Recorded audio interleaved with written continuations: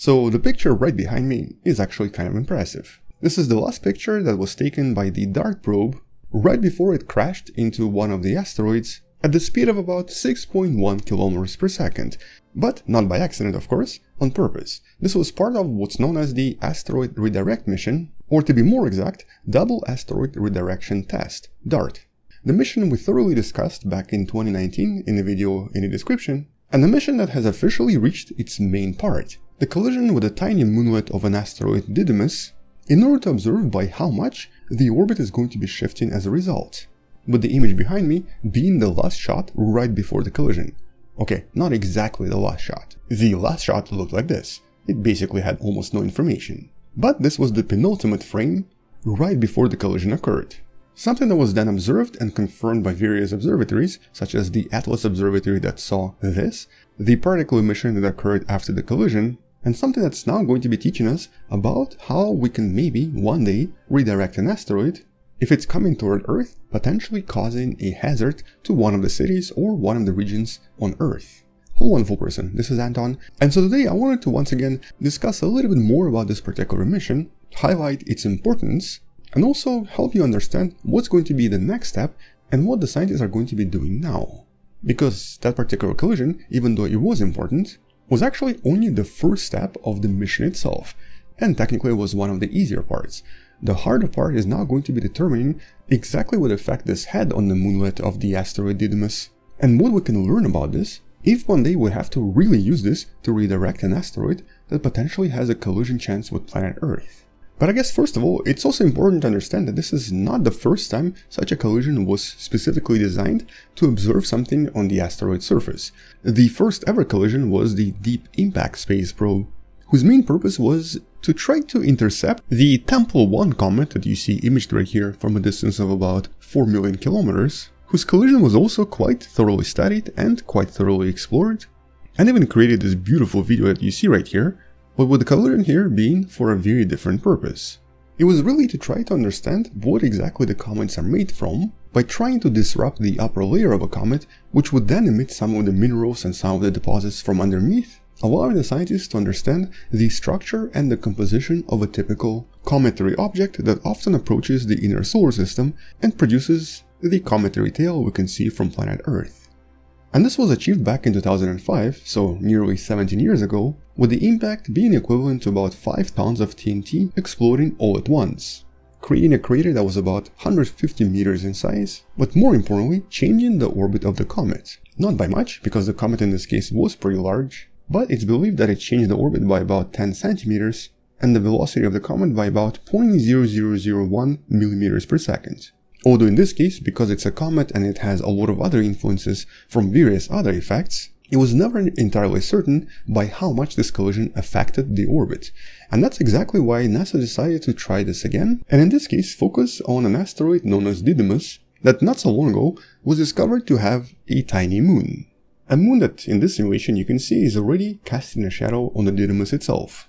And so in this case this is a, a really intriguing system. A system of an asteroid orbiting another asteroid, where the orbital parameters are extremely well known, and more importantly, where the moonlet itself is not actually that large, it's not really that massive, and so colliding any kind of a fast-moving object into this moon would actually change its orbit quite significantly, enough to be measurable from very far away distances. And this particular asteroid is actually a really interesting choice for several reasons with the main reason being that this is part of what's known as near-Earth asteroids, also known as NEOs. These are asteroids that we believe usually represent a relatively high chance of at some point colliding with planet Earth and potentially creating devastating conditions on the surface. In the last few months, we've already discussed several different new craters that were discovered on the planet, with many of them produced by very similar rocks of very similar size to Didymos. This one here is just a little bit less than 1 kilometer across. But its moonlet, Dimorphos, is quite smaller, it's about 160 meters across, and orbits around the larger partner every 11 hours and 55 minutes. And because Didymos itself represents a typical NEO, but it also has a partner, it then becomes possible to use this particular rock for a lot of different tests when it comes to the idea of planetary defense, basically trying to find a way to redirect or destroy an asteroid before it potentially collides with planet Earth.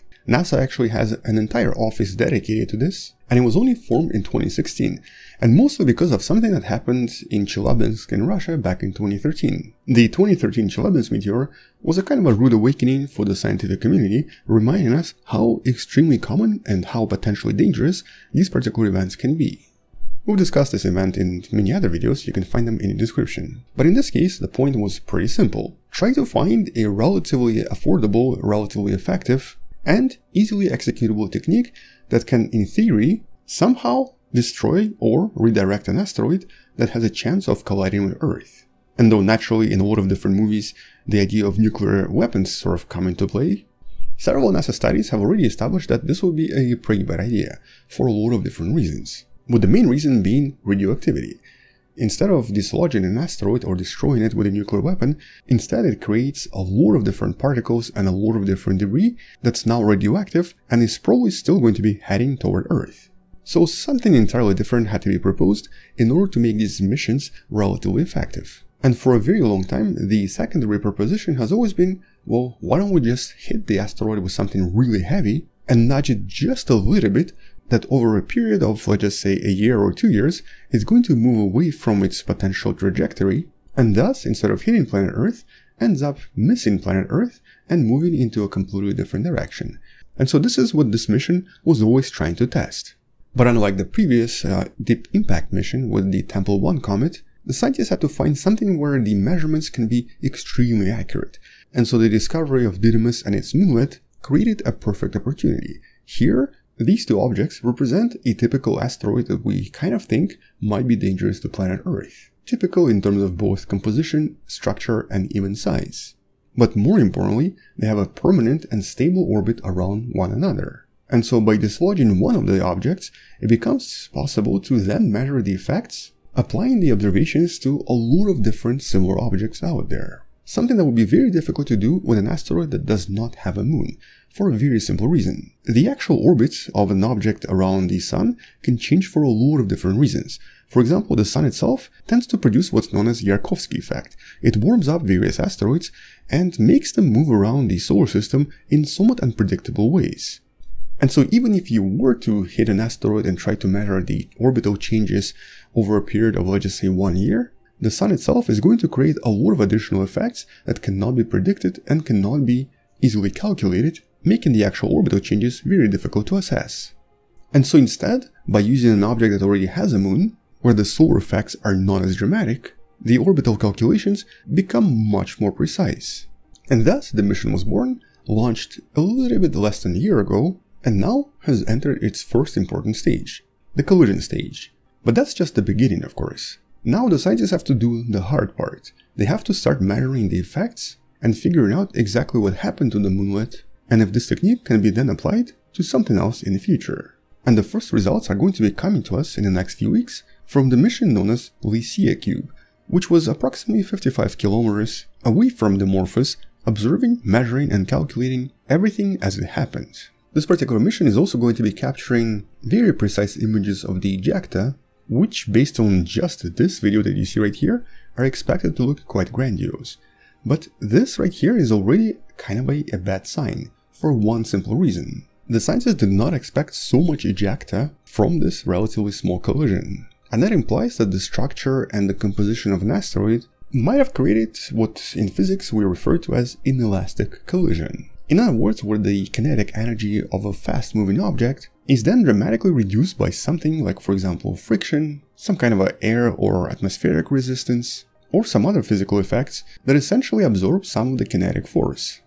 For example, in a perfect world scenario, in a case of an elastic collision, this basketball would be bouncing in exactly the same way no matter what. But because this is an inelastic collision, the height of every jump reduces every time the basketball touches the ground. And so, in a similar fashion, the total amount of debris released after this collision may indicate that some of the kinetic energy was absorbed by something on the surface of the moonlet, and thus the total changes in orbital dynamics might not be as dramatic as the scientists originally hoped, at least as initial implication based on the observations from the ground from planet Earth. Or basically just based on this one video that you see right here. But that's of course just one first assumption. In reality, because this is such an important mission, it was observed by a lot of different observatories from the ground, and it now also has another second part that's going to be launching in the next few years. Here's by the way yet another video showing us the approach of the probe toward Didymos and toward its moon, with the collision happening pretty much any second now. These are actual photos taken right before the collision. As a matter of fact, the European Space Agency is going to be launching Hera, that's going to be carrying two different CubeSats, Milani and Juventas, which are going to be arriving here in the next 5 years, in 2027, with only one main purpose for this mission, direct and exact investigation of exactly what happened to Dimorphos and of course its orbit 5 years after the initial collision with DART. Because unfortunately, here from planet Earth, even the most accurate observations of its orbital changes can only be done in one single way. It can only be done by measuring the minute changes in reflectivity of Didymos as the moon orbits around it and as it sometimes changes the reflectivity of Didymos. But that's not a very precise method, and so going here once again and trying to take more pictures and measuring a lot of these orbits directly is really the only way. And in case you're wondering why can't we just use the mission that's already here, well, that's because the mission is not staying in orbit around this asteroid, meaning that the camera that's currently operating here just doesn't have enough fuel to assume an orbit around the asteroid and is not going to be able to stay here much longer. But because this event was also observed by approximately 30 different ground telescopes in optical, radio, and radar frequencies, it means that the scientists are going to have quite a lot of data to work with even before Hera launches and arrives to this object once again. But that's of course the first step in the so-called planetary defense.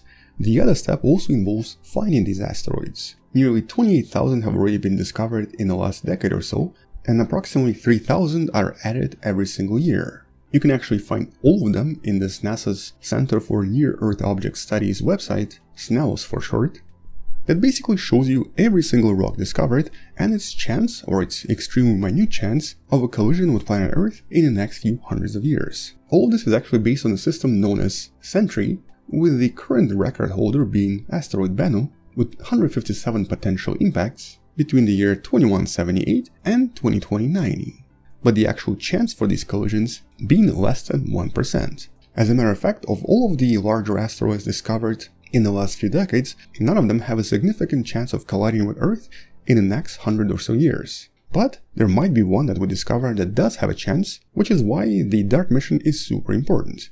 Although the main reason I wanted to talk about this is because NASA now is actually introducing its second part of its more advanced version of Sentry, Sentry 2.0, the system that's now going to be using slightly different statistical analysis to find even more potential collisions with various asteroids and to focus on a lot of previous effects, such as the Yarkovsky effect, that have previously been difficult to calculate, changing the accuracy of each calculation quite dramatically. And so that's going to be an extremely important update for various missions, with all of this now being done pretty much automatically by the system itself, without the need for any manual calculations, which means that in the next few years, we're going to suddenly have so much new data on various asteroids and even previously discovered asteroids that was not available before. Which also means that this particular table is probably going to be changing and sort of being reshuffled once all this becomes operational. And all this is super exciting to see because 10 years ago we didn't have pretty much most of this. Now we don't just have a way for us to detect asteroids, but the scientists have officially tested the first ever redirect mission, potentially allowing us to save the planet from an imminent collision. And so I can only imagine what we're going to have in the next 10 years. Or at least for now. We're going to be getting so much new data from this mission in the next few weeks, so if there is something really unusual or something really surprising, I'll make sure to follow this up with another video. And so until then, thank you for watching, subscribe, maybe share this with someone who loves learning about space and sciences, come back tomorrow to learn something else, and maybe support this channel on Patreon by joining channel membership or by buying the wonderful person t-shirt you can find in the description. Stay wonderful, I'll see you tomorrow, and as always, bye bye.